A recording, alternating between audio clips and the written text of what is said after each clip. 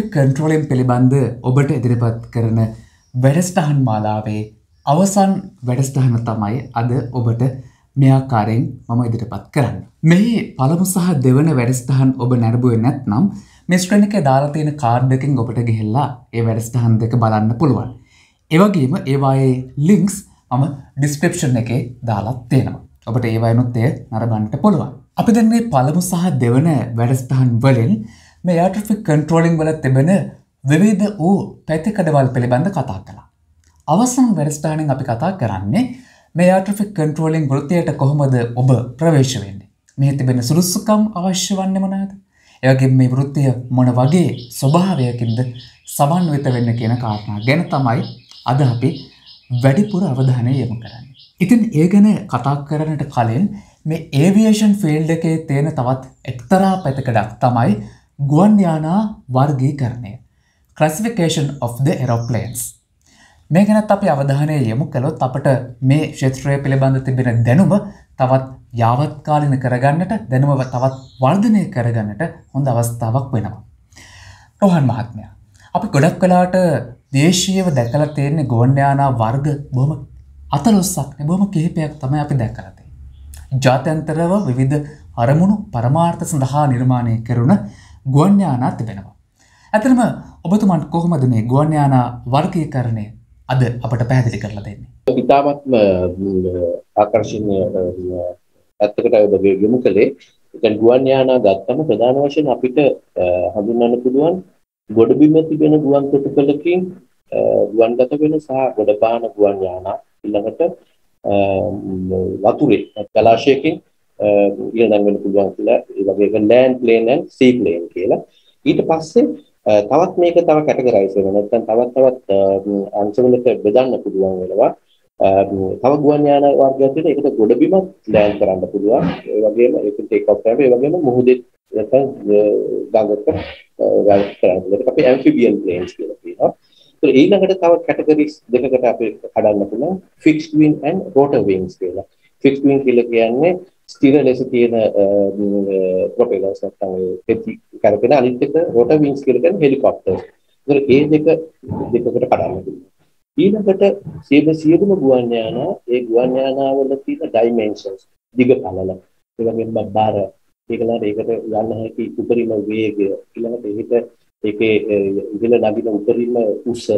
මේ අනාදී වශයෙන් ගත්තම විවිධ categories small medium Uh, large extra large කියලා uh, ගුවන් යාන ඊළඟට තියෙනවා light medium heavy and super heavy නැත්නම් extra heavy කියලා. ඒ වගේ fast slow um, uh, high speed ඒ විදිහට තියෙන ගුවන් යාන. ඒතර ඒ විදිහට විශේෂ ඒ වගේ ගුවන් යාන වර්ග ඒ වගේම අරමුණ අපි උදාහරණයක් ගත්තොත් පුද්ගලික පුහුණු වීම සඳහා සුළු පුංචි ගුවන් යාන එන්ජිමක් සහිත ගුවන් යාන.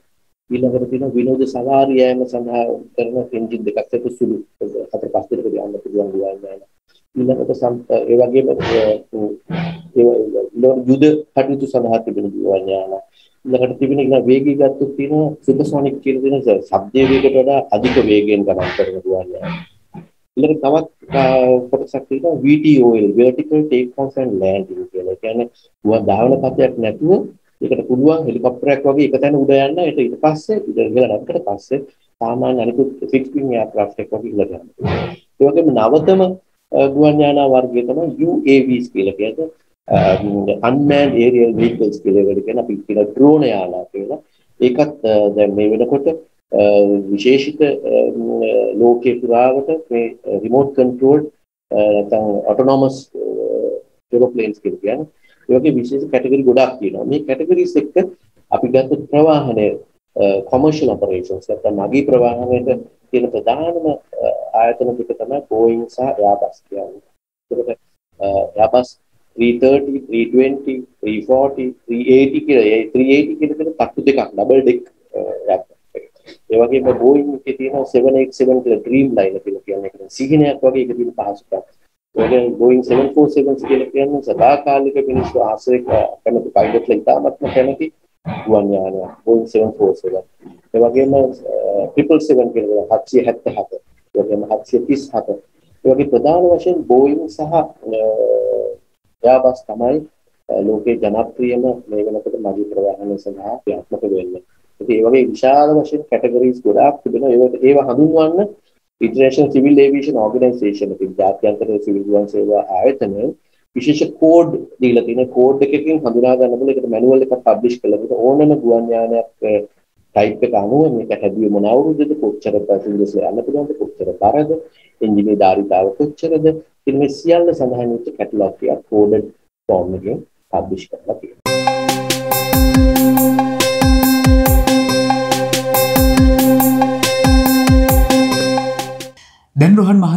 ඒ කිව වර්ගීකරණයට අමතරව ලෝකයේ කාගෝ නැතනම් බහන්ඩ ප්‍රවාහනය සඳහා නිර්මාණය කෙරුණ ගුවන් යානා මොනවද තිබෙන්නේ. ඉතින් සඳහන් කරපු Boeing 747 ඒ වගේම තව තියෙන Hercules Lockheed Hercules කියලා තියෙන C 130 141 වගේ යානා තියෙනවා.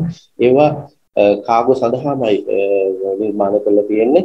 ඒ වගේම මේ මෑත කාලීනව කිව්වොත් මේ කොවිඩ් පසුබිමත් එක්ක පැසෙන්ජර් ප්ලේන්ස් නොගියට භාණ්ඩ ප්‍රවාහනය සඳහා ඉල්ලුමක් ඇති වුණා. ඒකට මේ ලෝකෙම තියෙන කාගෝ ප්ලේන්ස් ඩිසයින් කරපු මැනුෆැක්චර් කරපු කාගෝ ප්ලේන්ස් ප්‍රමාණය මේ භාණ්ඩ ප්‍රවාහනය සඳහා ගුවනින් භාණ්ඩ ප්‍රවාහනය වයිද එන්නත් වෙන්න පුළුවන් ඒ වගේ සියල්ල කිරීම සඳහා ප්‍රමාණවත් නොවුණු නිසා සිවිල් ගුවන් සේවා ජාත්‍යන්තර සංවිධානය විසින් උපදෙස් ලබා දුන්නා මේ පැසෙන්ජර් සීට්ස් තියෙනකොට කොහොමද කාගෝ ගෙනියන්නේ ප්ලේන් එක උඩදී ප්ලේන් එකේදී කාගෝ බිමට කඩන් වැටෙන්නේ නැති වෙන්න වෙනමම පැක් කරන්න.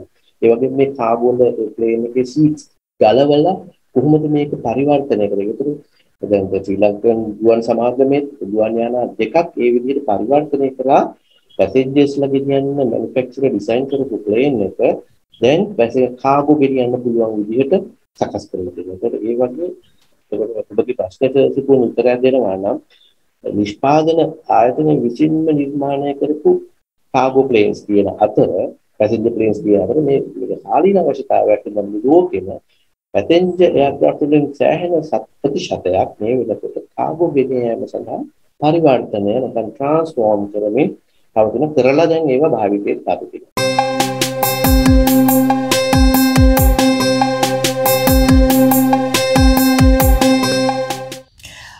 අපි බොහෝ වෙලාවට ලෝකයේ තිබෙන යම් යම් සැඟවුණු කරුණු එවගේම අභිරහස් සිද්ධි පිළිබඳ එව හොයන්නට කුතුහලයක් දක්වනවනේ නේද? දැන් මේ ගුවන් යානා ක්ෂේත්‍රය පිළිබඳ කතා කරනකොට අභිරහස් ගුවන් යානා අතුරුදන්වීම පිළිබඳවත් අපට වාර්තා කරන්න පුළුවන්. මේකදී අපේ මතකයට මුලින්ම එන්නේ බර්මියුඩා ත්‍රිකෝණය. මේ බර්මියුඩාව ආශ්‍රිතව සිදුවෙන ගුවන් යානා අතුරුදන්වීම නැව් අතුරුදන්වීම කියන කාරණා. දැන් රොහන් මහත්මයා මෙන්න මේ කාරණය පැහැදිලි කරගන්නට මේක හොඳම වෙලාව. ඇතම ගුවන් යානා ඉතිහාසය තුළ මේ අභිරහස් ලෙස ගුවන් යානා අතුරුදන්වීම ගැන ඔබට මොන වගේ කරුණුද මොන වගේ අවස්ථා ගැනද පැහැදිලි කරලා දෙන්න පුළුවන්. ඔවුසුපුන් ලෝකයේ විවිධ ප්‍රදේශවලදී ගුවන් යානා අභිරහස් ලෙස නැති වෙනවා ඒ වගේ නැති වෙලා තිබෙනවා ඒ වගේම අන්තිමපත් වෙලා තියෙනවා මගේ මතකෙට පළවෙනිම නැගෙන දේ තමයි ප්‍රසිද්ධ වෙච්ච සිදුවීමක් 2014 මාර්තු 8 වෙනිදා මැලේසියාවේ කොලලම්පූර් නගරයේ ඉඳලා බීජිං චීනය දක්වා පිටත් වෙච්ච MH370 කියන මැලේසියානු ගුවන් සමාගමක අයිති ගුවන් යානය අතුරුදහන් වීම. ඒ තමයි මම හිතන හැටියට මගේ අවුරුදු 38ක සේවා කාලය තුලදී අద్භූත ලෙස ඒ කියන්නේ විසඳුමක් හොයාගන්න බැරි වුම ගුවන් යාන අනතුර හැටියට අභිරහස් අතුරුදන් වීම හැටියට කලකන්න පුළුවන්. ඒ පිටත් වෙලා ගුවන් තොටුපළ පිටත් වෙලා විනාඩි 7ක් වැනි කාලයක් තුලදී ඒ ගුවන් යානයේ තියෙන සියලුම සබඳතා එන හිටිනවා. සබඳතා කියලා කියන්නේ දැන් අලුත් තාක්ෂණයේ හැටියට ගුවන් යාන සමග කතා කරන නියමුවා සහ ගුවන් ගමන් පාලක කතා කරන අමතරව තාක්ෂණික ලෙස සබඳතාව පාලන මැදිරියට ඇති වෙන කාස් කියලා තියෙනවා. එතන ADSB, SSR ඒ වගේ කියලා එකට නම් දෙන හඳුන්වන ඒ සම්බන්ධ සියල්ල එන හිටිනවා. එන හිටලා මේක තියෙන මෙච්චර තාක්ෂණ සංකල්ප තාක්ෂණය මොනිටර් කරන්න පුළුවන්. මේ සියල්ල කරද්දී තියෙන අద్భుත තත්ත්වය තමයි මේ තාක්ෂණ සියල්ලම අභිබවා මේ ගුවන් යානයට මොකද වුනේ කියලා තාම හොයාගන්න බැරි. දැන් අවුරුදු 7ක් වෙනවා මේ 2021 වෙනකොට දැන් ඔවුන්ගේ ජීවිත නැති වුණා කියලා තේරුම් ගන්න සිදු වෙනවා. එතකොට මේ ගුවන් යානය නැති වුණේ කොහොමද කියන එක පිළිබඳව ඉතාමත්ම ගැටලු සහගත මත ඇති වෙලා තියෙනවා. මේක පැහැරගත්තාද අනතුරකට ලක් කරාද මොකද මේක යම්කිසි සෙන්සිටිව් ඉන්ෆර්මේෂන් සහිත පැසෙන්ජර්ස්ලා හිටියා කියලා කට කතාවකුත් තිබෙනවා.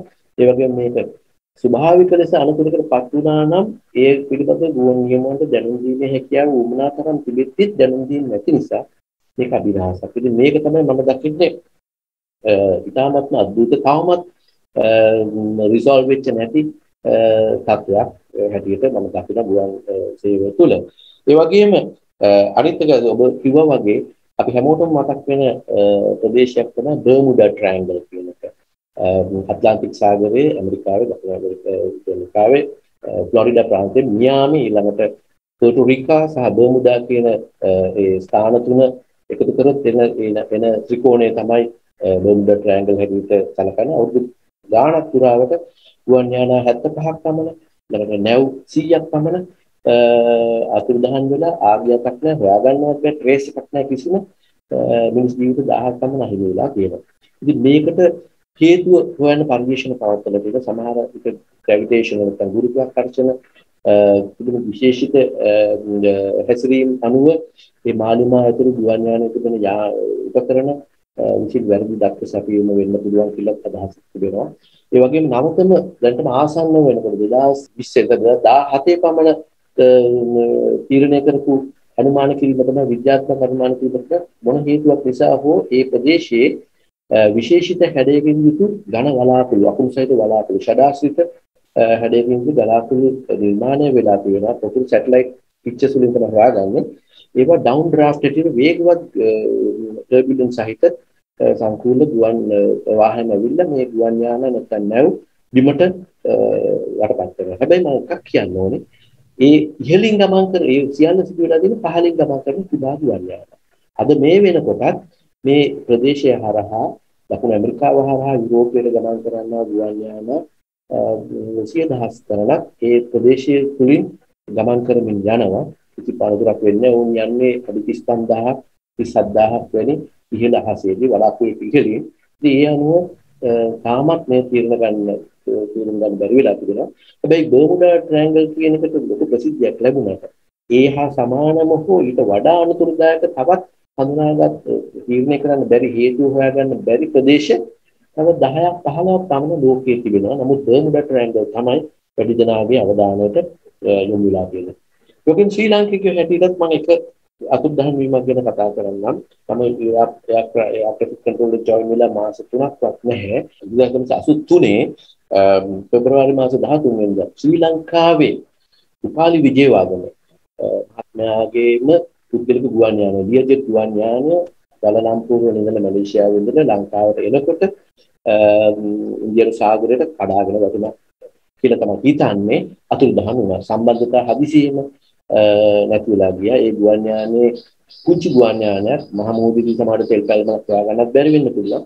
නමුත් සමහරක් වෙලාවට ඒක පුපුරා යෑමක් කුමක් දන්නේ නැහැ. නමුත් ශ්‍රී ලංකාවේ තිබුණු එකම ගුවන් යාන හිමිකරු වෙන ඉතාලි විජේවර්ධන ව්‍යාපාරිකයා නැත්නම් තාමත්ම බුද්ධිලකගේ ජීවිතයත් ඒ ගුවන් යානය අහිගුණා. ඒක කඩාකප්පල්කාරී ක්‍රියාවක් විදිහට කිංසු කලකනවා සැක පහල කරන අදටත් එයත් අභිරහස් ලෙස අතුරුදහන් ගුවන් යානයක් ලෙස නම් කරන්න පුළුවන්.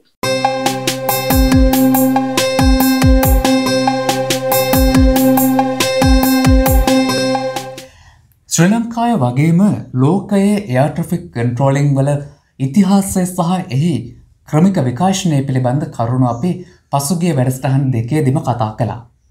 දැන් රොහන් මහත්මයා මේ ශ්‍රී ලංකාවේ ඒවේෂන් ෆිල්ඩ එක තුළ එයාට්‍රෆික් කන්ට්‍රෝලින් වලදී ලබාගත්ත ඇචිවමන්ස් නැතරම් ලබාගෙන තිබෙන ප්‍රගතිය සහ ජයග්‍රහණ පිළිබඳ ඔබගේ මතකය කොහොමද අවධි කරන්නේ මේ අවසන් වැඩස්ටහන වෙනුවෙන්. ගුවන්ගමන් පාලන ක්ෂේත්‍රයේ අත්දැකීම් ලැබපු අපේ ගුවන්ගමන් පාලකවරුන් විවිධ අවස්ථාවලදී ජාත්‍යන්තර තලයට මූලික වශයෙන් ගුවන්ගමන් පාලකවරුන් සිවිල් ගුවන් සේවා අධිකාරියේ නියෝජිත අධ්‍යක්ෂක ජෙනරාල්වරු හැටියට වගේම ඇඩිෂනල් ඩිරෙක්ටර් ජෙනරාල් හැටියට වැඩ කරලා තිබෙන කීප දෙනෙක්ම ඒ වගේම අපේ දේශීය ගුවන්ගමන් පාලකවරු දුබායි වැනි රාජ්‍යයන් වල විශේෂිත උපදේශක තනතුරු වලට පත් වෙලා ගිහිල්ලා තිබෙනවා සේවා කරලා තියෙනවා.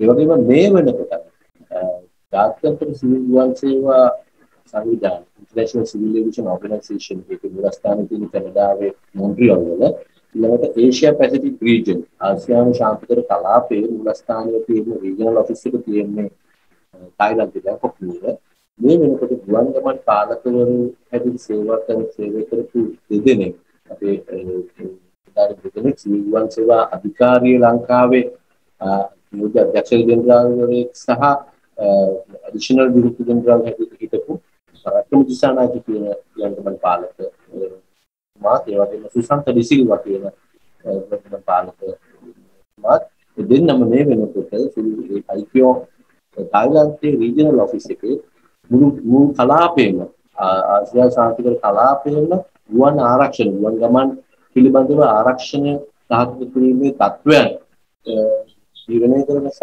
සමීක්ෂණය කරන ඉතාමත් උසස් දේශතල දෙකක් පොබොදුන් ශ්‍රී ලංකාවටත් ඒ වගේම විශේෂයෙන්ම ගුවන් ගමන් පාලන ක්ෂේත්‍රයට ඉතාමත්ම ගෞරවයක් ලබා දීමේ සාර්ථක සේවා කාලයක නියෝජනය බව මම ඉතාමත්ම ආදරයෙන් සඳහන්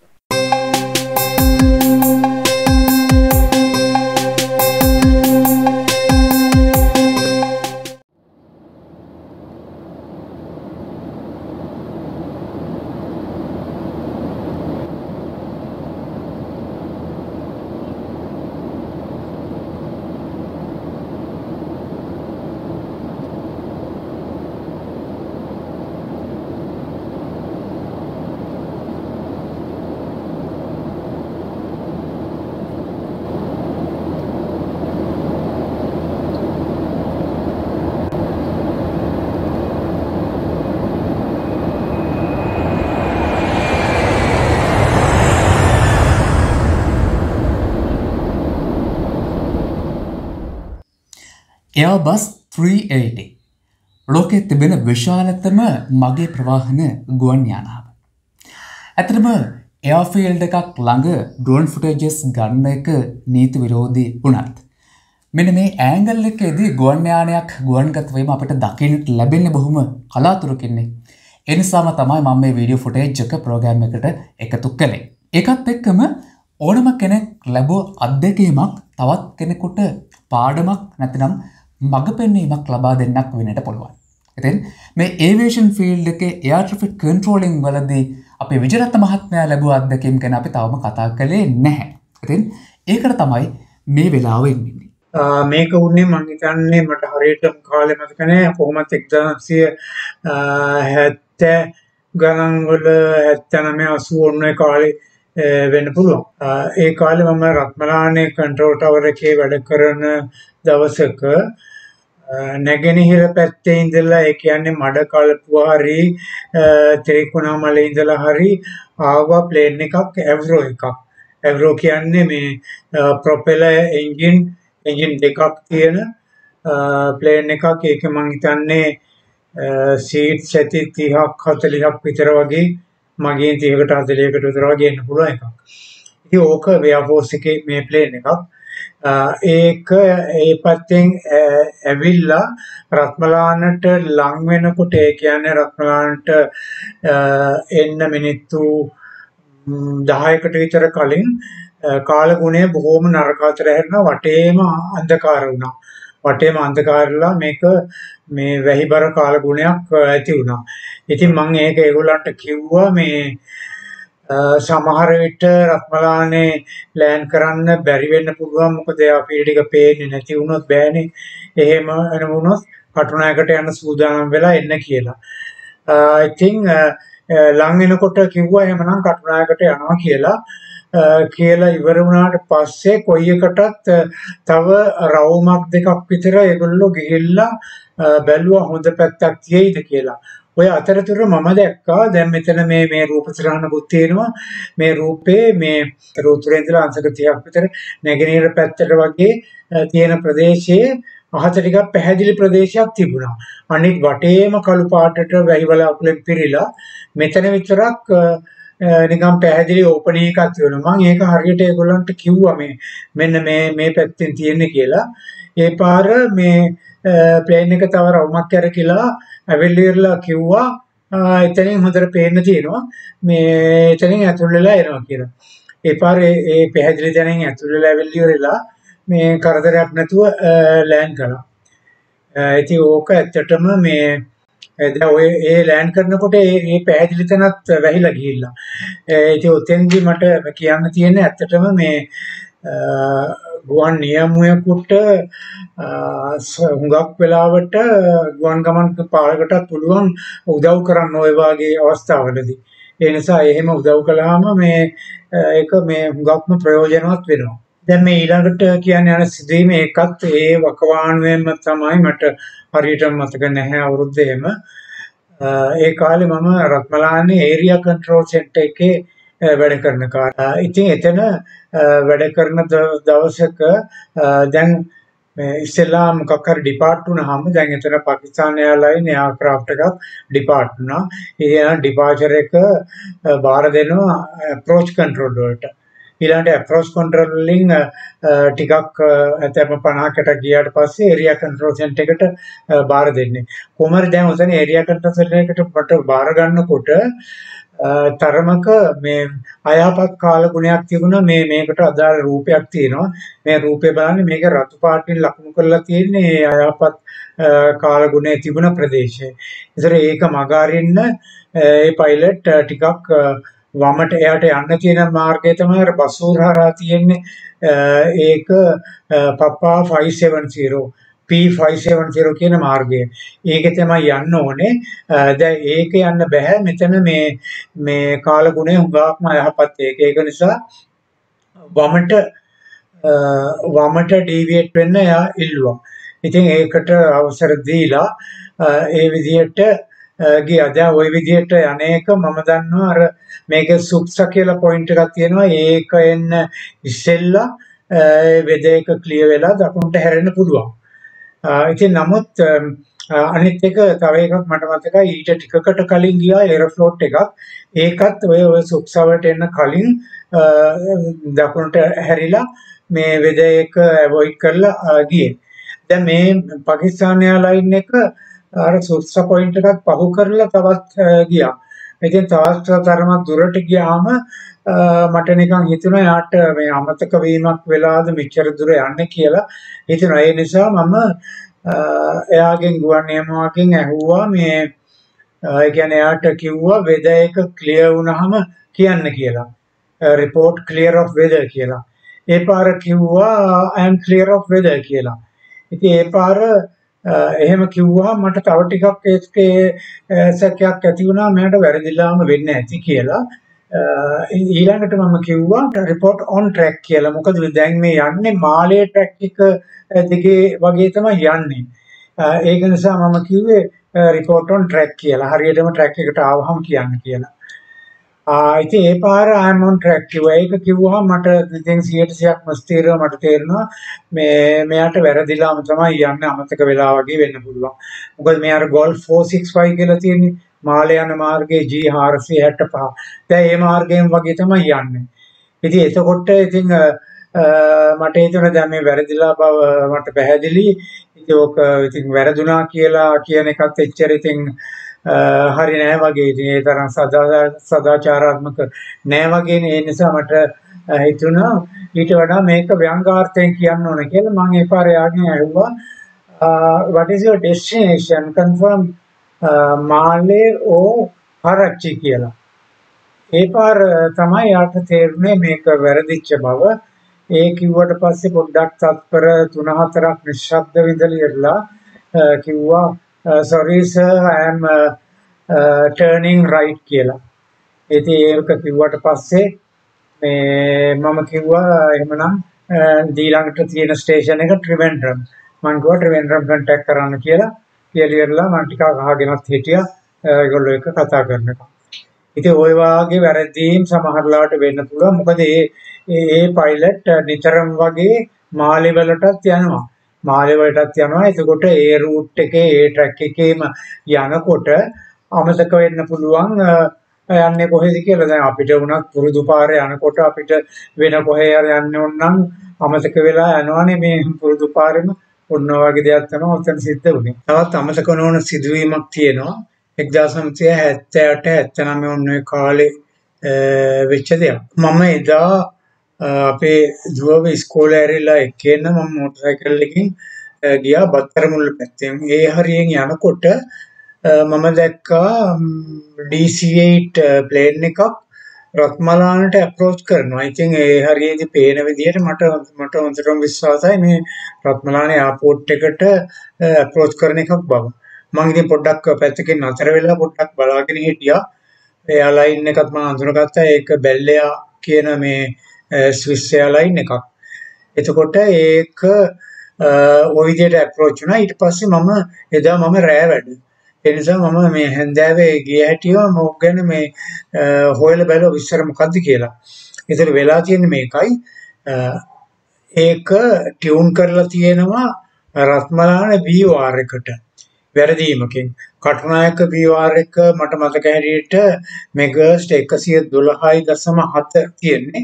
රත්මලාන ඒ කාලේ තිබුණේ 113.7.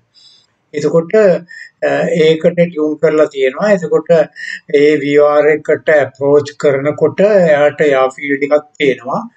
ඊළඟට දැන් කටුනායක කන්ට්‍රෝලර් එක තමයි යා ඉන්නේ. ඉතින් කටුනායක කන්ට්‍රෝලර් කියලා තියෙනවා report feed inside කියලා. ඒ කියන්නේ අපෝට් එක පෙවුනහම කියන්න. ඒ පාරේ යා කියලා තියෙනවා feed inside කියලා. ඉතින් එතකොට දැන් රත්මලානින් කටුනායකන්න මේ කටෝලට දැන් පේන එක පේන්නේ නෑ. එයාට පේන්න ඕන ඔය වෙලා වෙනකොට. පේන එකන්න කටිනු ඇපෝස්් කියලා තියෙනවා.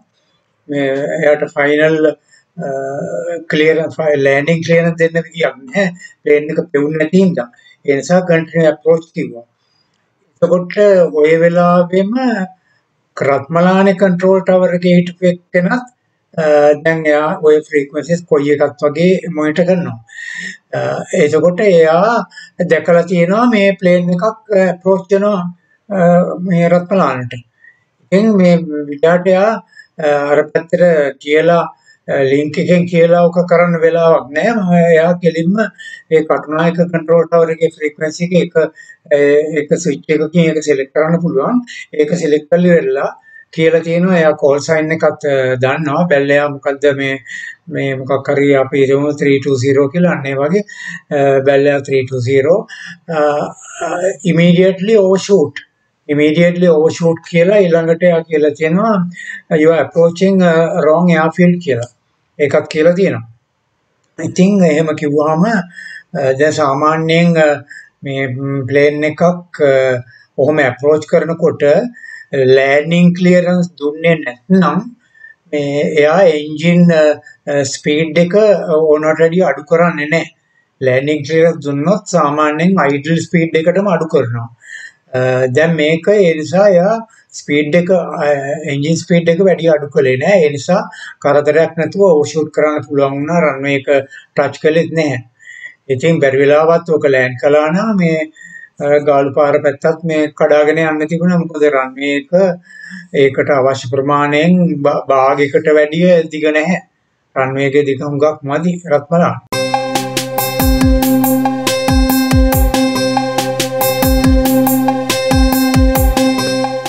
තමන් කරන රැකියාව හෝ වෘතිය තුළ දියුණුවක් දකින්නට නම් එක්ෂත්‍රයට අවශ්‍ය වන හැකියාවන් දක්ෂතාවයන් අපි විසින් ඇති කර ගන්නට අවශ්‍ය වෙනවා. දැන් රොහන් මාත්මය මේ එයාට්‍රෆික් කන්ට්‍රෝල කෙනෙක් ගැන කතා කරනකොට එයාට්‍රෆික් කන්ට්‍රෝලට තිබිය යුතු ශක්්‍යතාවන් හැකියාවන් ඇතනම් ඕක කැපෑසිට එක මොනවගේ දක්ෂතා හැකියාවලින් සම්පූර්ණ වෙනට අවශ්‍ය වෙනවද? මොකක්ද ඔබේ පැහැදිලි කිරීම මේ සම්බන්ධ? ගමන් පාලකවරයෙක් වීම සඳහා මූලික වශයෙන් තියෙන සහජ හැකියාවක් ඒකට අපි කියනවා মালටි ටාස්කින් එකපාර කොහොමද? බහු කාර්යයක් එකවර කරන්නේ කොහොමද කියලා. උදාහරණයක් ගත්තොත් ගුවන් ගමන් පාලකවරයෙකුට ගුවන් නියමුවෙක් විසින් අහසේ ඉඳලා පණිවිඩයක් දුන්නම ඒකේ ඉල්ලීමක් තියෙන්න පුළුවන්. ඒකේ තව විස්තර ගොඩක් තියෙනවා. එකවර එය සවන් දෙන්න ඕන. නිවැරදිව එකවර එකවර සවන් දීලා ඒක ලියා ගන්න ඕන තමුගේ තිබෙන ස්ක්‍රිප්ට් කියලා තියෙන ලියා ගන්න. ඒ වගේම මනසෙන් ඒ ප්‍රශ්නය තේරුම් අරගෙන තමුගේ තිබෙන අනිත් ගුවන් යාන සමග සංකලනය කරලා බලන්න ඕනේ මේකට විසඳුම හොයාගන්න. විසඳුම ඊට පස්සේ තාමත් ක්ෂණිකව ගුවන් නියමුවාට ඒ විසඳුම ඉදිරිපත් කරන්න ඕනේ. තමුන් දෙන විසඳුම වාර්තා කරගන්න ඕනේ ඒ තියෙන ස්ක්‍රිප්ට් එකේ ලියලා. ඒ වගේ කරුණු කීපයක්. ඒ වගේම තමයි එකවර ගුවන් යානා කීපයක් කතා කරොත් ওই ගුවන් යානාවට ප්‍රමුඛත්වය දීලා කතා කරන්නේ. ඊළඟට තවත් ග්‍රැටරි කන්ට්‍රෝල් සෙන්ටර් එකකින් කතා කරොත් ලින්ක් එකකින් කතා කරොත් එහෙම නැත්නම් ගුවන් ටෙලිෆෝන් එකකින් කතා කරොත් කොයි දෙයක ප්‍රමුඛතාව හොයාගන්න කියලා. ඒ වගේ බහුකාර්ය කිරීමේ සහජ හැකියාවක් තියෙන්න ඕන. ඊළඟට ක්ෂණිකව ගණිත ගැටලු විසඳා ගන්න පුළුවන්කම තියෙන්න ඕන. ඒ වගේම කෙටි මතකයක්. දැන් මොහොතකට ඉස්සෙල්ලා අපි දැක්කනම් වේදා යන්ත්‍රයේ තියෙනවා නම් ගුවන් යානා දෙකක් ඔළුව හක හිත අවධානය වෙන පැත්තකට ගියත් ඒ මතකේ නැවත අවදි කරගෙන කටයුතු කරන්න පුළුවන්කම තියෙනවා. තමා වැඩ කරගෙන යනකොට ඒට යම්කිසි බාධාවක් ඇති වුණොත් නැවත ඒ බාධාව වැඩ පවත්වගෙන ඒ නවත්තපු තැනින් පටන් අරගෙන නිවැරදි ක්ෂණිකව කරන්න පුළුවන්. ඒ ඒ කියන්නේ කියන එකට සංජනන කුසලතා කියලා කොග්නිටිව් ස්කිල්ස් කියලා. ඊට අමතරව මෝටර් ටාස්කින් කොහොමද අතපය S දෙක කන මේ සියල්ල එකට සින්ක්‍රනයිස් කරලා ඒක ඒකාග්‍රිතව කොහොමද හසුරවන්නේ කියලා. මෙන්න මේ කියන සහජ හැකියාව ස්කිල් එක ඉන්බෝන් ස්කිල් එක තියෙන පුද්ගලින් සොයා ගන්න ඕන. ඒ අයව තමයි අනිත් ටෙක්නික්ස් නැත්නම් ඥානය නැත්නම් දැනුම ලබා දීලා වර්තමාන පාලකයන් විදිහට හඳුනා ගන්න. ඒ සඳහා නිසි අපිට තත්ත්වෙට වෙන්න ඕනේ.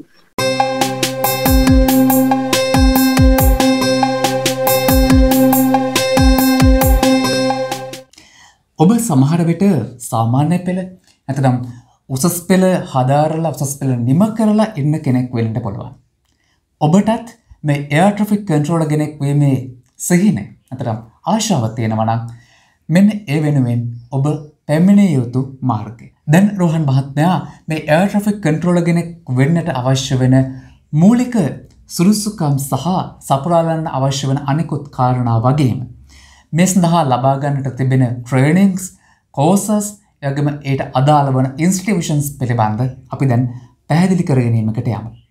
ශ්‍රී ලංකාවේ පවතින සියලුම තෝරා ගැනීම පටිපාටියන් පටිපාටියන් ලෝකයේ සම්මත ජාත්‍යන්තර සම්මත ආකාරයටම ලංකාවේ පැවැත්වෙන්නේ. මම ඉස්සෙල්ලා කිව්වා ගුවන් ගමන් පාලකයෙක් වීම සඳහා මොනවද තියෙන සහජ හැකියාව, ඉන්බෝන් ස්කිල්ස් මොනවද කියලා. ඒවා තියෙනව සොයා ගන්න වෙනවා. ඊට අමතරව අධ්‍යාපන මට්ටමක්, වෘත්ති මට්ටමක් සහ අපි කලින් කතා කරා ෆ්‍රේසියොලොජි. එතකොට ෆ්‍රේසියොලොජි කියන්නේ ඉංග්‍රීසි භාෂාවෙන් ආශ්‍රිතව කතා කරන්න තිබෙන නිසා ඉංග්‍රීසි භාෂාව පිළිබඳ දැනුම. මේ අනුව තෝරා ගැනීමේදී අධ්‍යාපන සුසුකම් හැටියට ශ්‍රී ලංකා විශ්වවිද්‍යාල ප්‍රතිපාදන කමිෂන් සභාව UGC University Grant Commission Commission පිළිගත් දේශීය හෝ විදේශීය විශ්වවිද්‍යාලයකින් විද්‍යාව ගණිතය හෝ පරිගණක අදාළ විෂයන් වලින් සමාන විට මූලික උපාධියක් තිබෙන උපාධිධාරීක් වෙන්න ඕනේ ඊට අමතරව අපුස සාමාන්‍ය පෙළ විභාගය හෝ ඊට සමාන ඉක්වලන්ට් තව විභාගයකදී ඉංග්‍රීසි භාෂාව සඳහා ඒ ශ්‍රේණියේ ප්‍රති සම්මානයක් ලබලා තියෙනවා. ඒක තමයි අධ්‍යාපන සුදුසුකම් හැටියට සැලකන්නේ. ඊට අමතරව මම කලින් කිව්වා වූ ජානන හැකියාව නැත්නම් කොග්නිටිව් ස්කිල්ස් තියෙනව සොයා ගැනීම තෝරා ගැනීම සඳහා ජාත්‍යන්තර පිළිගත් වරින් වර වෙනස් වෙන ඇප්ටිටියුඩ් ටෙස්ට් නැත්නම් කුසලතා පරීක්ෂණ මාලාවක් පවත්වනු ලබනවා. ඒකෙදි කොහොමද ක්ෂණිකව කොහොමද ගණිතමය ගැටලු විසඳන්නේ කොහොමද? ඊළඟට මතකය කොහොමද පවත්වාගෙන යන්නේ? ෂෝට් මෙමරි ස්කිල්ස් කියලා කියන්නේ. ඊළඟට කොහොමද දෙයක් ප්‍රමුඛතාවල් අනුව හඳුනා ගන්න කොහොමද කියන එක පිළිබඳව ඊට අමතරව යමක් කරගෙන වැඩ කරගෙන යනකොට ඒක බාධාවක් ඇති වෙනවා ඒකට ඒ ප්‍රමුඛතාවයට ඉඩ දීලා නැත්නම් ඒකට එතෙන් වෙලා ඒක අදිට කරලා නැවතත් ඒ මුල් කරපු රාජකාරී කොටසට නැවත ඒ නවතු ගැනීම පටන් අරගෙන කොහොමද යන්නේ කියන්නා වූ ආකාරයේ බුද්ධි පරීක්ෂණයක් නැත්නම් ඇප්ටිටියුඩ් ටෙස්ට් එකක් ස්කිල් ටෙස්ට් එකක් කරනු ලබනවා. මේ විදිහට ඇප්ටිටියුඩ් ටෙස්ට් වලින් සහ සම්මුති පරීක්ෂණින් සාර්ථක සමත් වෙච්ච අයට අභ්‍යාසලාභී හැටියට නැත්නම් ට්‍රේනි ඇට්‍රොෆික් කන්ට්‍රෝලර් කියන පත්වීම ලබා දීලා පුහුණුවකට ජාත්‍යන්තර සිවිල් ගුවන් සේවා සංවිධානය විසින් ICAO ICAO කියලා කියන ඒකේ 052 කියන ජාත්‍යන්තර පුහුණු එරෝඩ්‍රෝම් කන්ට්‍රෝල් පිළිබඳව පුහුණු පාඨමාලාවට ඇතුළත් කරගන්නවා. ඒක පවත්වන්නේ ශ්‍රී ලංකාවේ ගුවන් ගමන් පාලන කටයුතු භාරව සිටින රාජ්‍ය ආයතනවල ගුවන් තොටුපළ හා ගුවන් ගුවන් සේවා සමාගම AASL සමාගමේ රත්මලානේ පිහිටි සිවිල් ගුවන් සේවා පුහුණු ඇකඩමියේ තමයි ඒ පුහුණුව පටන් ගන්නේ. ඒක මාස 3ක පුහුණු කාලයක්. ඒ මාස 3 පුහුණු කාලයේදී සිද්ධාන්ත නැත්නම් තියරි සහ ප්‍රැක්ටිකල්ස් කියන දෙකම නැත්නම් ප්‍රායෝගික කියන දෙකම පුහුණුව ලබනවා. විෂයන් 20කට ආසන්න සංඛ්‍යාවක් සිද්ධාන්ත නැත්නම් තියරි විෂයන් සමත් වෙන්න තිබෙනවා. අපේ ලකුණු මට්ටම 70ක් හෝ ඉගෙන මට්ටමකට ලකුණු ලබා ගන්න යුතු වෙනවා. ඊළඟට තියෙනවා එයාර් ට්‍රැෆික් කන්ට්‍රෝල් සිමියුලේටර් කියලා හරිගණක ආශ්‍රයෙන් ගුවන් යානාව ජනනය කරලා ඒ ගුවන් ගමන් ගැටෙන ආකාරයකට ඉදිරිපත් කරලා ඒවට කොහොමද විසඳුම් දෙන්නේ කියන ආකාරයට 3D සිමියුලේටර් 3 dimensional ත්‍රිමාණ තලයේ ඔබගේ කාමරය හරියට ඔබ ගුවන් තොටුපළේ පාලන මැදිරි කුළුණේ ඉන්නවා වගේම ඒ බිත්ති වලින් දැපෙන ආකාරයට ඉලෙක්ට්‍රොනික උපකරණයක් ජාත්‍යන්තර මට්ටමේ එකක් ඒසල් සමාගම සතුව තිබෙනවා. යකඩමියේ ඒ නෝන පුහුණුව ගන්නවා ඒ මාස 3ක පුහුණුවෙන් පසු ඒ සමත් වෙන සියලු දෙනාවම ඊට පස්සේ තව මාස 9කට කටුනායක ගුවන් තොටුපළ මුල් කරගත් අනිකුත් සිවිල් ගුවන් තොටුපළ වල ගුවන් පාලන මැදිරියට on the job training නැත්නම් ඒ වැඩ සත්‍ය ගුවන් යානා මෙහෙයවීමට ඒ සඳහා බලපත්‍ර තියෙන ජ්‍යෙෂ්ඨ ගුවන් ගමන් පාලකවරුන්ගේ යටතේ උන්ට මාස 9ක පුහුණුවක් ලබා දෙනවා. මේ මාස 9 තුලදී මාසයක් පාසා උන්ගේ ඉවැලුවේෂන් නැත්නම් ඇගීම් පරීක්ෂණ පැවැත්වෙනවා. ඊළඟ වැරදි හදාගෙන 9 වෙනි මාසයේදී සාර්ථක වුණාම සිවිල් ගුවන් සේවා අධිකාරිය ශ්‍රී ලංකා සිවිල් ගුවන් සේවා අධිකාරියේ මූලිකත්වයෙන් තිබෙනව පරීක්ෂණ මණ්ඩලයක් ඉදිරියේ මේ සත්‍ය ගුවන් යානා පාලනය කරමින් 45 පැයක් පමණ උන් ප්‍රදර්ශනය කරන්න ඕන තමන්ගේ හැකියාව. ඒ තුලින් තමයි උන් සමත් වෙන්නේ. ඒ අතරම උන්ට තිබෙනවා ජාත්‍යන්තර සෞඛ්‍ය පරීක්ෂණයකට මුහුණ දෙන්න international civil aviation medical examination එකක්. දැන් ගුවන් ගමන් ගුවන් නියමුවන්ට තිබෙනවා IPO මෙඩිකල් ක්ලාස් 1 කියලා. ඒක තමයි ප්‍රධාන මගී ගුවන් යානා ප්‍රවාහන ගුවන් යානා වල නියමුවන්ට තිබෙනවා. ඒක හැම මාස 6කට පාරක් අලුත් කරන්න ඕන, රිවිව් කරන්න ඕන. පුද්ගලික ගුවන් යාන යන ගුවන් යානවලට තියෙනවා මෙඩිකල් ටෙස්ට් එකක්. ඒකට කියන ක්ලාස් 2 මෙඩිකල් කියලා. IPO ක්ලාස් 2 මෙඩිකල් කියලා. මාස 6කට අලුත් කරන්න ඕන. ගුවන් ගමන් පාලකවරුන්ට තියෙනවා එමම එම වෛද්‍ය පරීක්ෂණයම හැබැයි අවුරුදු දෙකකට සැරයක් තමයි අවුරුදු 45 වෙනකම් වයස අවුරුදු 45 වෙනකම් අවුරුදු දෙකකට සැරයක් ඒ මෙඩිකල් රිනිවල් එක කරන්න ඕනේ. නැවත භාජනය කරන්න ඕනේ. ඒ තමයි සෞඛ්‍ය තත්ත්වයට ඊට පස්සේ අවුරුදු 45 ඉඳලා අවුරුදු පතා පරීක්ෂණයට ලක් කරන්න ඕනේ. ඉතින් මේ අනුව තව ඒ අනුව උට ලැබෙනවා ගුවන් ගමන් පාලක බලපත්‍රයක්. ඉලෙක්ට්‍රික් කන්ට්‍රෝල් ලයිසන්ස් කියලා. සිවිල් ගුවන් සේවා අධ්‍යක්ෂ ජෙනරල් තුමාගේ අත්සන් සංකව ඒ හා සමානවම ඒ දැන් ඔහුගේ පළවෙනි 052 කියන පුහුණුව අනුව ඔහුට නිපුණතාවය තිබෙන්නේ ගුවන් ගමන් පාලන කුළුණේ ඉරඩ්‍රෝම් කන්ට්‍රෝල් කියන ක්‍රියාපටිපාටි කිරීම සඳහා අදාළ රේටිං කියලා කියන එකට අදාළ විශේෂිත එන්ඩෝස්මන්ට් එක නැත්නම් සීල් එක ඒ ලයිසන් එකේ ලබා දීලා එය ඉදිරියට උත් කරගෙන යන්න පුළුවන්. එහෙම තමයි ඔහුගේ ගුවන් ගමන් පාලකෙක් හැටියට ජීවිතය ආරම්භ කරන්නේ. එසේ ගුවන් ගමන් පාලන කුළු නියුගම් කන්ට්‍රෝල් කෙනෙක් හැටියට හැකියාව කරමින් අවුරුදු තුනක පුහුණුව බලපෑමක් ලබා ගත්තා. පස්සේ ඔහුට පුළුවන් වෙනවා ඊළඟ අධිරයට අපි කලින් වැඩසටහනේදී කිව්වා වගේ approach control කියන පුහුණුව ලබා ගන්න පුළුවන්. ඒක ඒ වගේම මාස 3ක පුහුණුවක් සහ ඊට පස්සේ දවස් මාස 3ක on the job training period එකක් තිබෙනවා. මාස 6ක් ඇතුළතදී ඔබට ලැබෙනවා approach control කියන rating එක ලැබෙනවා ඒ බලපත්‍රයට. ඒ තිබෙන ජාත්‍යන්තර පුහුණු පාඨමාලාවට කියනවා ICAO නැත්නම් ICAO 053 කියලා. 50 53 කියන ජාතික ලෝකෙම ගුවන් ගමන් පාලකවරුන්ම මේ එකම ගුවන් පුහුණු පාඨමාලාවට තමයි ජාත්‍යන්තර පිළිගන්න තමයි ශ්‍රී ලංකාවේ ගුවන් ගමන් පාලකවරුත් පුහුණු ලබන්නේ. ඊළඟට තව අවුරුදු දෙකක ඊට ලැබෙනවා ඊළඟ අවස්ථාව අර ඒරියා කන්ට්‍රෝල් ජාත්‍ය අනිත් වගේ අපි කතා කළා වගේ ඒරියා කන්ට්‍රෝල් සඳහා IQ 055 කියන පුහුණු පාඨමාලාව ලබා දෙනවා. ඒ අතරම ඒ කාලය තුලදී දැන් එතකොට අවුරුදු 5ක් 6ක් පමණ ගත වෙලා තිබෙනවා. ඌ ඊළඟට ලැබෙනවා රේඩා යන්ත්‍රය අනුව වේල උපකරණ අනුව වැඩ කිරීමේ තාක්ෂණික දැනුම ලබා දෙනවා පුහුණුව ලබා දෙනවා IQ 054 කියන ට්‍රේනින් ප්‍රෝග්‍රෑම් එකක් එක්ක. එතකොට අවුරුදු 8ක් 10ක් තියෙන කාලයක් තුලදී ඔහු සියල්ල සම්පූර්ණ කරගත් සියලු පිළිමි ලැබූ අපිට fully fledged air traffic controller කෙනෙක් කියලා බවට පත් වෙනවා. නමුත් එසේ වුණත් ලෝකයේ තිබෙන නවීන ප්‍රවණතාවන නැවතත් ඔවුන්ගේ ප්‍රවීණතාවය නැවතවත් අවකාලීන කරන්න අවශ්‍ය වෙනවා. ඒ අනුව රිෆ්‍රෙෂර් කෝසස් තිබෙනවා. අවුරුදු තුනකට සැරයක් ඒ තමුන්ගේ දැනුම යාවත් කාලීන කිරීම සඳහා අර සිමියුලේටර් කියලා මම කිව්වේ පරිගණක අන්ත්‍රයේ යන්ත්‍රය යටතේ කරන්නා වූ ගුවන් ගමන් පාලක පුහුණුව ගිහිල්ලා රිෆ්‍රෙෂර් කෝසස් වලින් නැවත මතකයේ යාවත් කාලීන කරගන්න හැකියාව යාවත් කාලීන කිරීම මේ තමයි මේ පුහුණුව විදිහට කටයුතු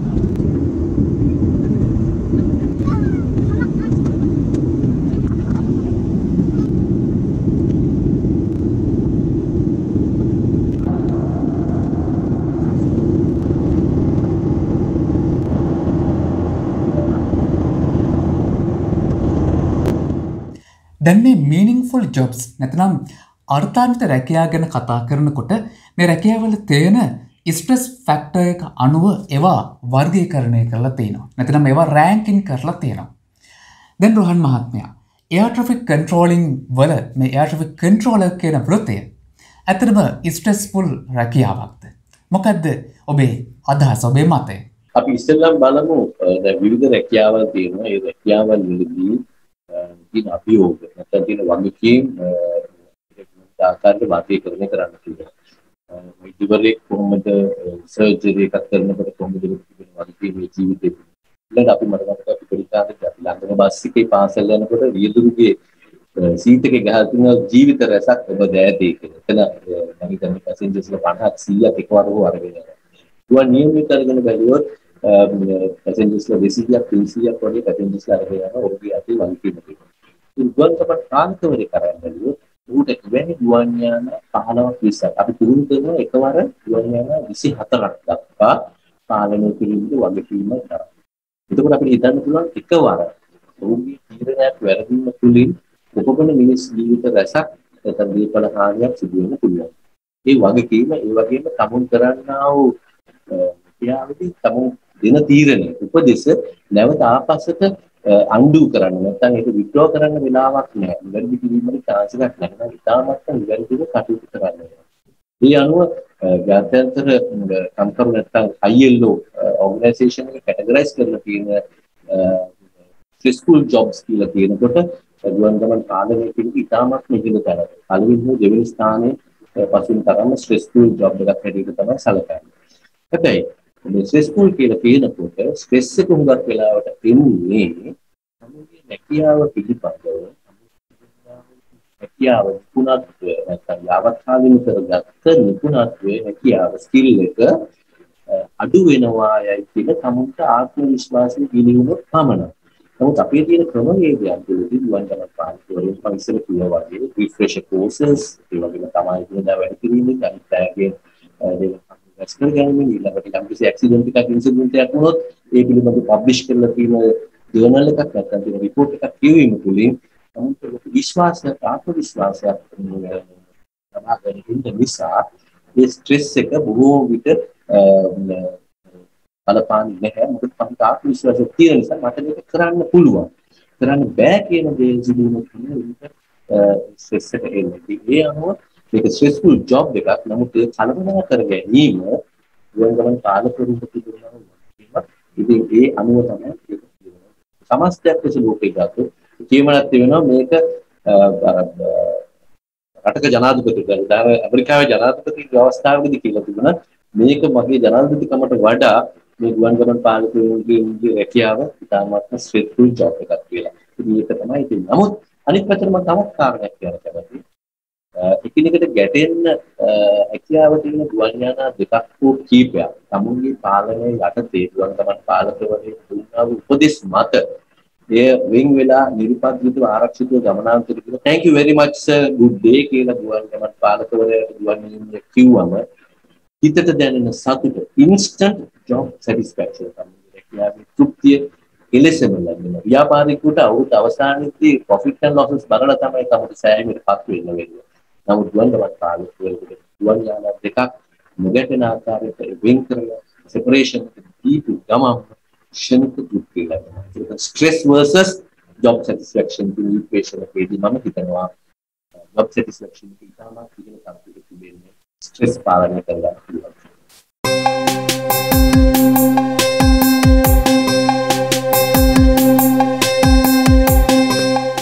බහුතරයක් දෙනා තමන්ගේ වෘතිය හෝ රැකියාව තෝරා ගැනීමට යාමේදී. අපි කලින් සඳහන් කරපු ඉස්ටස් ෆැක්ටයකට අමතරව තවත් දෙවල් පිළිබඳ සොයල බලනවා. ඒ අතර තමන්ගේ රැකියාව සඳහා කොතරම් කාලවේලාවක් සේවේ නිරතවෙනට අවශ්‍ය වෙනවාද කියන දේත් විශේෂ වෙනවා. දැන් රොහන් මහත්මයා එයාට්‍රෆික් කන්ට්‍රෝලෙන් වලදී. ඇතනම කොපමණ පෑගානක් මේ සේවේ නිරතවෙනට අවශ්‍ය වෙනවද. ඒ වගේම මේ ඩියුටි ශිෆ් සේවා මුරයන් කොහොමද ක්‍රියාත්මක වෙන්නේ.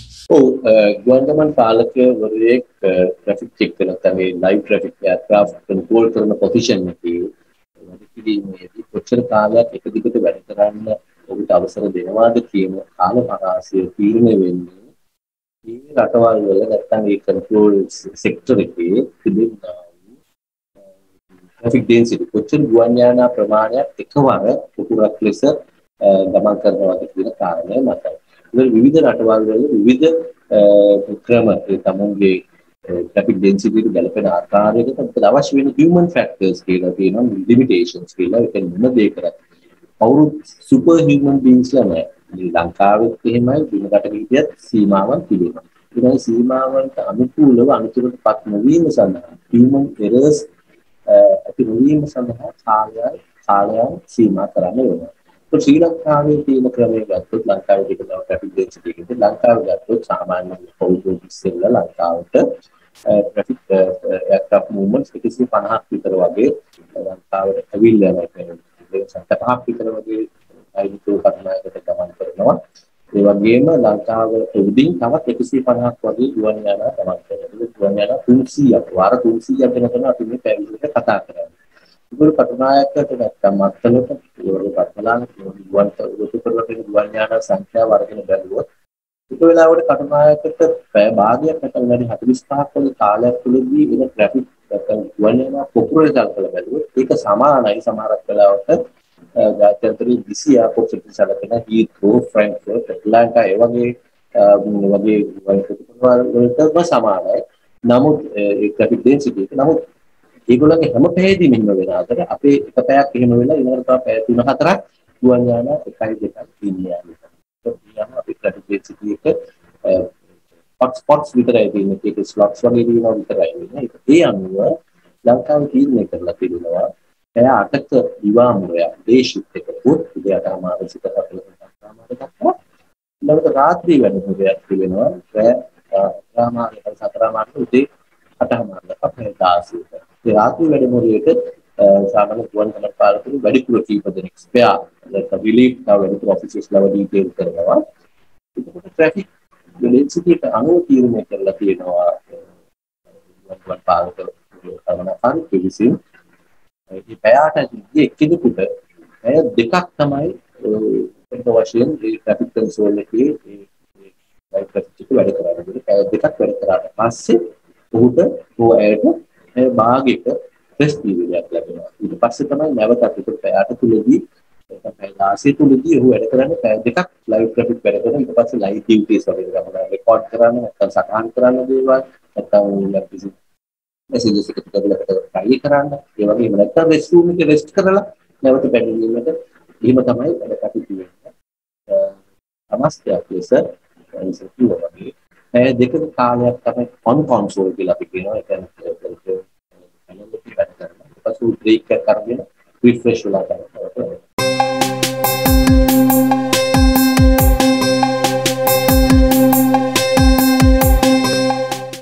දැන් රොහන් මහත්මයා මේක අමතර ප්‍රශ්නයක්. ඔබ සඳහන් කරපු ආකාරයට පැය අටේ ඩේශිප් එක සහ පැය දාසේ නයිට්ිප් එක විදිහටන මේක බෙදිල තියෙන්නේ මේ අතර කොහොමත මේ ඩියට ශිප් එක චේන්ජ් වෙන්නේ දැන් මම සෞඛෂේත්‍ර හිටපු කෙනෙක් විදිහට හොඳාකාරම දන්නවා. මේ ඩියට ශිප් චේන්ජ් වෙනකොට අපි කරපු ෝඩරවන්් එකින් ගත්ත ඩීටේල්ස් තොරතුරු මේ සියල්ල අපි ඊළඟට එන කෙනාට බ්‍රීෆ් කරනවා. වර්බලි හෝ ඉන්රයිටෙන් එතකට එහෙම තමයි ශිප් එකක් අතර මේ තොරතුරු හෝ මාරුවෙන් ඒක නීත්‍යනුකූලව සිදු කරන කාරණයක්. තැන් එයාට්‍රෆික් කන්ට්‍රෝලිං වලදි මෙන්න මේ ශිප් එකක් මාරුවෙන අතරතොර මාරු කිරීමේදී මේ වගේ සිද්ධියක් සිද්ධ වෙනවද?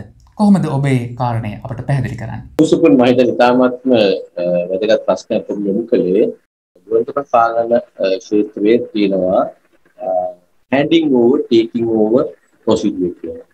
එතකොට දැන් හතරාමාට අපිට 16යි තියෙක පැය 16යි තියෙක ඩියුටි ඔෆ් වෙන්න කෙනෙක් ඉන්නවා ඒ පොසිෂන් එක බාර ගන්න ඩියුටි ඔන් වෙන්න කන්ට්‍රෝලර් කෙනෙක් ඉන්නවා.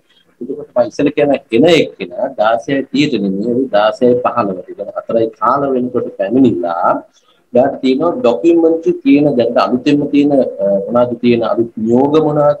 අලුත් තියෙන චක්‍රලේඛ මොනවද? ඒ වගේම තියෙනවා තව අලුත් ජනර අද දවසේ වෙදර් පැටර්න් අද කාලගුණී කොහොමද? ඊළඟට තියෙන විශේෂිත උපදේශිත තියෙන NOTAMs note notice to airmen කියලා විවිධ තියෙන ගුවන් තියෙන සීමාවන් සමහර තහනම් ගුවන් කලාප පිළිබඳව ඒවල අන්තිදායක තත්ත්වයන් මේ සියලුම දේවල් අධ්‍යයනය කරලා ඊළඟට ඒ පැය කාලෙ විනාඩි 5ක් පමණ ඒ සඳහා ගත කරලා තමුන්ට નિયમિત ඒ තමුන්ට අදාළ ඒ කන්ට්‍රෝල් පොසිෂන් එකට ගිහිල්ලා වැඩ කරන ගුවන් ගමන් පාලකයා වැඩ කරන ආකාරය පිළිබඳ අපි කියන ඕවර් ද ෂෝල්ඩර් ඔබ්සර්වින් කියලා බලාගෙන ඉඳලා කොහොමද මේ ඒ තියෙන ට්‍රැෆික් සිටුේෂන් එක නැත්නම් තියෙන ගුවන් යානා පිළිබඳව පූර්ව අධ්‍යයනයක් අදහසක් නැත්නම් දැනීමක් ලබා ගන්නවා.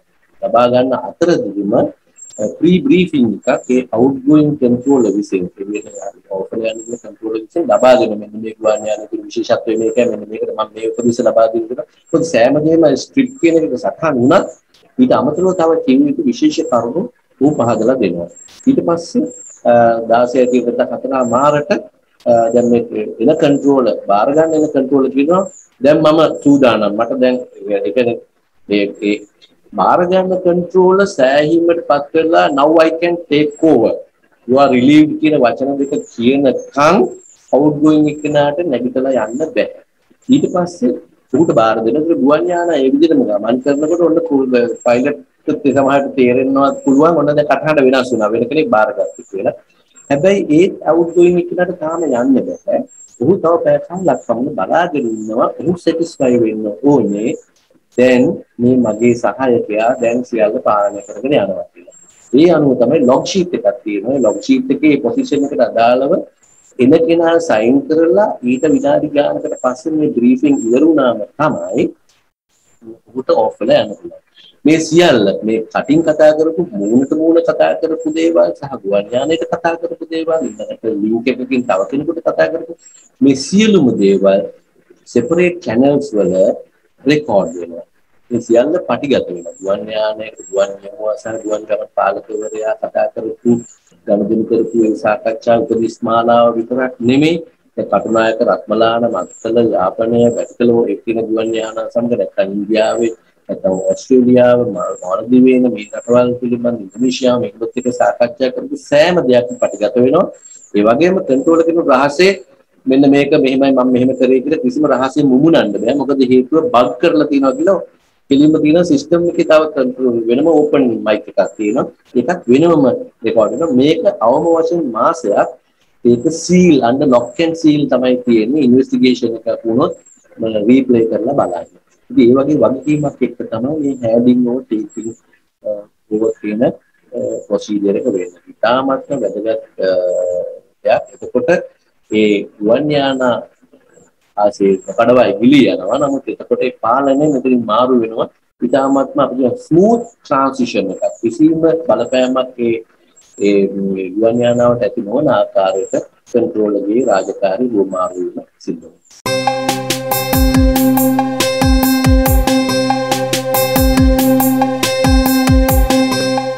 මේක තමයි ගොඩක් දෙනෙක් වද වෙන යම ගොඩක් දෙනෙක් විමසලිවන්තව සොල බලන කාරණය මොකත් සැලර එක කීයක් දෙනවද? ඇතම රෝහන් මහත්මයා එයාට්‍රික් කන්ට්‍රෝලිං වලද මේ එයාට්‍රික් කන්ට්‍රෝලර් කෙනෙක්ට මොනතරම් සැලර ස්කේල් එකක්ද අයිති වෙන්න? නතරම් ඒ සැලර ස්කේල් එක පිළිබඳ පැදිලි කිරීම මොකක්ද ඔබේ? අපි හැමෝම පිළිගන්න දෙයක් තමයි සෑම රැකියාවතම රැකියාව වගකීම් අනුව මම මෙහෙම කිව්වොත් salary is the measurement of uh, the proficiency and the responsibility of a profession කියලා කියන්න පුළුවන්. රැකියාවක තියෙන වගකීම සහ ඒක දෙන්නා වූ ඒ තියෙන බාරදූරත්වය පිළිබිඹු වෙන්න ඕන උන්ට ගෙවන රැකියාව දැක්පත් අනුව. ඒකට දැන් මේ ගත්තොත් ගුවන්ගමන් පාලකතුන් සීළු දෙනාම uh, උපාධිධාරීන්. එතකොට ලංකාවේ උපාධිධාරීන්ට දෙන්නා වූ යම් කිසි වැටුප් පරිමාණයක් තිබෙනවා. ඒකට අනුකූල වෙන්නේ.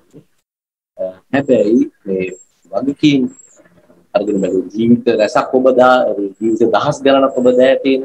එතකොට ඒ අනුව සහ ඊළඟට හැම වෙලෙම තමයි ශරීර සෞඛ්‍ය හැම වෙලෙම මෙඩිකල් එක අප්ඩේට් කරගන්න වෙනවා. තමයි ශරීර සෞඛ්‍ය මනා ලෙස තියාගන්න. ඊළඟට මේ ෂිෆ්ට් වර්ක් වැඩ කරන වැඩමුර සඳහා ඒ කියන්නේ ගුවන්ගමන් පාලකවරුන්ට සත්‍යාන්ත නිවාඩු නැහැ, පෝය නිවාඩු නැහැ, සිංහල අවුරුදු නිවාඩු නැහැ, නත්තල් නිවාඩු නැහැ. උන්ට වැඩ කරන්න තිබෙනවා. ඒකට ඒ කියන්නේ උන්ගේ පුද්ගලික ජීවිතයට ඇත්තටම උන්ගේ සෝෂල් ලයිෆ් එකට සමාජීය පැවැත්මට කිසි බලපෑමක් වෙන්නේ. ඒවත් කොම්පන්සේට් වෙන්න කැම්පස් වැටුපක් දෙන්න ඕනේ. ඉතින් ලෝකේ පුරාම ගුවන් ගමන් පාලකවරුන් uh, මැසිව්ලි නගන හැම වෙලේම මේ මේ ෆයිට් එක නැත්නම් මේ බැටල් එක යනවා තමගේ රැකියාවේ තිබුණා වූ uh, වැටුප් තල ඉහළ කර ගැනීමට මොකද කොච්චර ගෙව්වත් මදි කියන ස්වභාවයක් තමයි මේ රැකියාව අනුව තිබෙන්නේ. නමුත් කළමනාකාරී තුළ ඒ සඳහා සීමාවල් තිබෙනවා. ඉතින් ඒ අනුව අවුරුදු පතා මේ පිළිබඳව යම්කි සාකච්ඡාවල ප්‍රමාණිකූලව ඇවිල්ලා තියෙන විදිහට නමුත් ශ්‍රී ලංකාවේ බැලුවොත් උපාධිධාරියෙකුට ලැබෙනා වූ ශ්‍රේණි කෙනෙක් හැටියට අභ්‍යාසලාභියෙක් හැටියට ලැබෙනා වූ වැටුප් තල ගැන කලකලා බැලුවොත් ඒකට සැලකෙන ආකාරය කම්පරබල් ඒකට සංසන්දනාත්මක ලෙස යහපත් තලයක ඔවුන්ගේ තියෙනවා. එතකොට මම කිව්ව ට්‍රේනින් පීරියඩ් එකේදී ඔවුන්ට 6 ෆිගර්ඩ් ටේක් හෝම් allowance එකක් ලැබෙන ආකාරයක කටයුතු සිදු කරලා තිබෙනවා ඊට පස්සේ එතනින් එහාට මේ විදිහට වැටුප් දැනට බැලුවොත් කිසි මට්ටමකට සෑහීමකට පත් වෙන්න පුළුවන් ආකාරයකට 6 figured salary කියලා මම කිව්වොත් මොකද ඒක සාමාන්‍යයෙන් salary එක පිළිබඳව දැන් ඒකට ඇඩ්වර්ටයිස් කරනකොට salary negotiable කියන නිසා මම හිතන්නේ කොට ආචාර්ය ධර්මano උන්ගේ ඉලක්කම් මෙතන සඳහන් කරන අමාරුයි. නමුත් මම කියනවා නමුත් උන්ට ආරම්භයේදී 6 figured salary එකකට ආසන්න training allowance එකක් ලැබෙන අතර අවුරුද්දෙන් පස්සේ සික්ස් ෆිගර් සැලරි එකක් ලැබෙනවා. ඒක අවුරුදු පතා ඉන්ක්‍රිමන්ට්ස් ඊට අමතරව අර මම කිව්ව රේටින්ග්ස් ලැබෙනකොට ඒකට අදාළව ඊළඟට ලයිසන්ස් සඳහා විවිධ allowances එක්ක උන්ට සාධාරණ රටේ තිබෙනා වූ උත්කලයක් එක්ක බලනකොට සාධාරණ තත්ත්වයක තිබෙනවා. නමුත් අර ස්ට්‍රෙස් සහ තියෙන වගකීම් එක්ක නැවතත් මේ වැටු තවත් ඉහළ දැමිය යුතු බව තමයි මගේ පුද්ගලික හැඟීම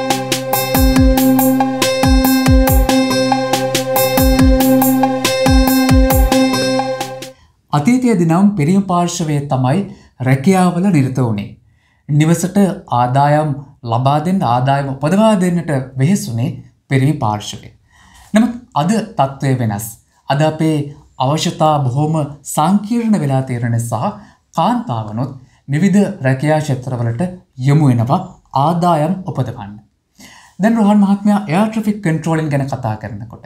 කාන්තාවන් කොපමණ ප්‍රතිශතයක් මේ වනකොට එයාට්‍රෆික් කන්ට්‍රෝලිං වල නිරත වෙනවද.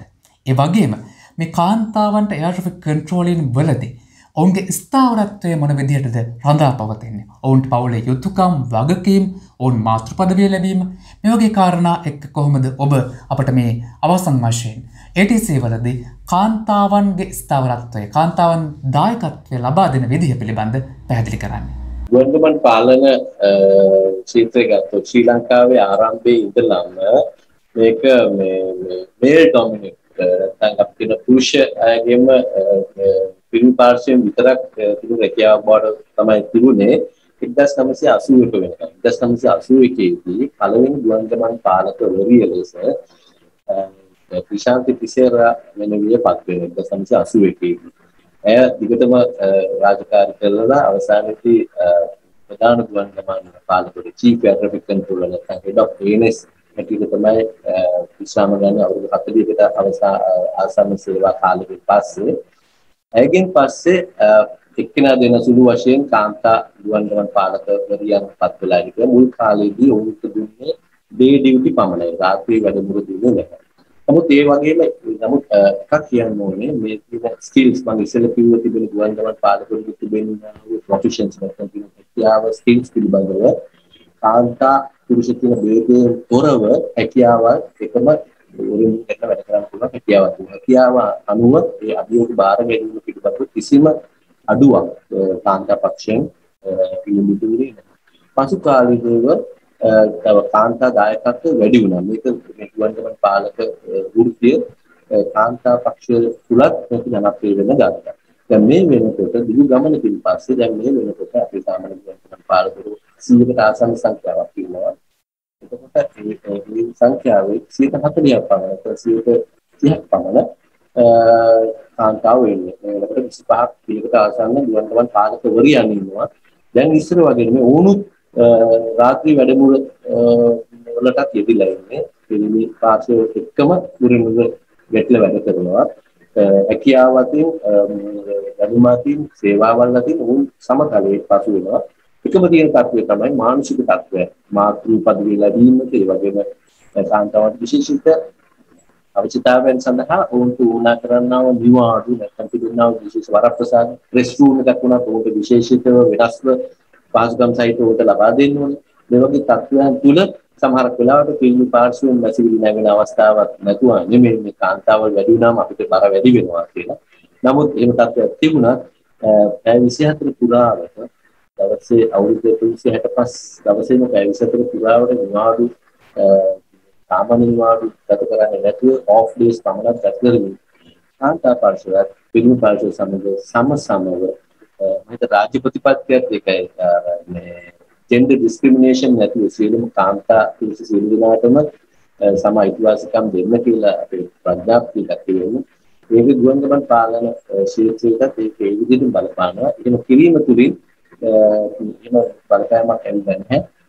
තාමත්ම දක්ෂ ගුවන්ගමන් පාලකවරියන් අපි සමග ඉන්නවා ක්ෂේත්‍රයේ ළඟ මේ වෙනකොට අපේ එක්තරා ගුවන් පාලකවරියක් මේ වෙනකොට සිවිල් ගුවන් සේවා අධිකාරියේ නියෝජ්‍ය අධ්‍යක්ෂ ජෙනරාල්තුමිය හැටියට වැඩ කරනවා ගුවන්ගමන් පාලකවරියක්. ඒ වගේම තවත් ඉන්නවා පරීක්ෂකවරු ඉන්නවා. ඒ වගේ ඉතාමත් මිහිර ස්ථානවලට ඔවුන්ට ගමන් කරන්න පුළුවන් වෙලා තියෙනවා.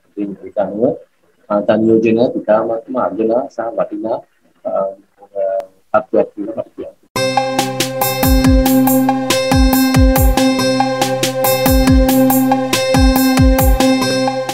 ඔන්න ඉතින් පොරොන්දු වන ආකාරයටම සෙන්ස් මීඩියා ශ්‍රී ලංකා තුළින් එයාට්‍රෆික් කන්ට්‍රෝලින් පිළිබඳ ප්‍රෝගෑම් සිරිස් එකක් ඔබට ගෙනාව. ඇතැන් මේකදී මේ චිත්‍රයට අදාළ විවිධ පැතිකඩවල් පිළිබඳ මේ වැඩස්ටහන් තුනෙන්ම අපි කතා කලා. ඇතැන් මේ වැඩස්ටහන් තුන ක්‍රමාණකෝලව බැලුවොත් ඔබට හොඳ මඟ පෙන්නීමක් හොඳ දැනුමක් මේ චත්‍ර පිළිබඳ ලැබෙන බවනම් මට තදින්ම විශ්වාසයි. ඉතින් මේ වැඩස්ටහන් මාලාවට සම්පත්දායකත්වය ලබා දුන්න රොහන් මනුකුල සූරිය මහත්මයට වගේම ජයට විජරත්න මහත්මයට මගේ අවංක ආදර ස්තුතිය පුද කරන අතරම මේ වැඩස්ටහන මෙතකින් නිමවට පත් කරනවා. යහපත් මාධ්‍ය කලාවක් වෙනුවෙන් සෙන්ස් මීඩියා ශ්‍ර ලංකා තුළින් මම ඇප කැප වේ සිටිනවා. එනිසාමයි ඔබට මෙවැනි අර්ථාන්විත වැඩස්ථාන් ඉදිරිපත් කරන්න. ඉතින් ආරාධනා කරනවා මගෙත්ත කරනස්ටන්න ඉදිරියටත් මෙවැනිම අර්ථාන්විත ඔබට වටිනා කියන වැඩස්ථාන ගෙනන්නට මා සෝධානමින් ඉන්න. එමනම් අදට ඔබෙන් සමගෙනවා ඔබට සුබදසක්. වෛදුරට අඩු වෙලා මොකද ඒ සමහරවිට උඩට දෙමෝපික සේවය මෙදිට පුළුවන් නිසා අපිට තාමත් කනගාටුයි අපේ ස්පෙෂල් කරන ළමයි සියලු දෙනා ඇමරිකාවේ නතරනවා